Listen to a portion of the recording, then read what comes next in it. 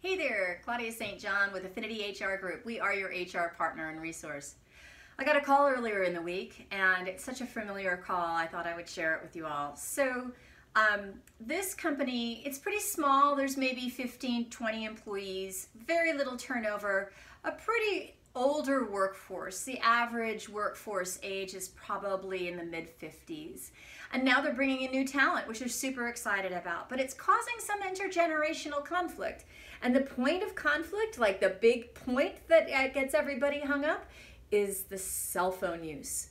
Um, older managers, senior managers, they want those cell phones put away and checked and put in the drawer, not brought into work. And so they'd like a policy for that yeah, we can develop a policy for that. But really, this generation is so intermodal in terms of how they communicate.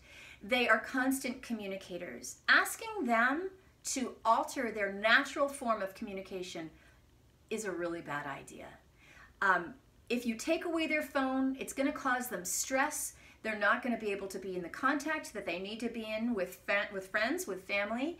And, and really, that assumes, the assumption that they have their phone means that they are not being productive. Well, in fact, if you take their phone away from them, I'm not quite sure it's going to improve productivity anyway.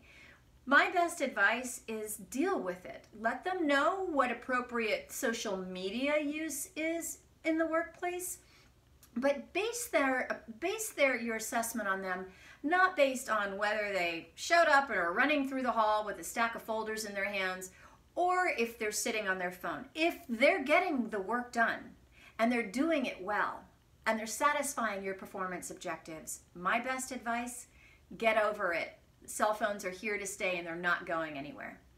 I hope this was helpful. Probably not what you wanted to hear, but it's probably what you needed to hear. Take care. Bye.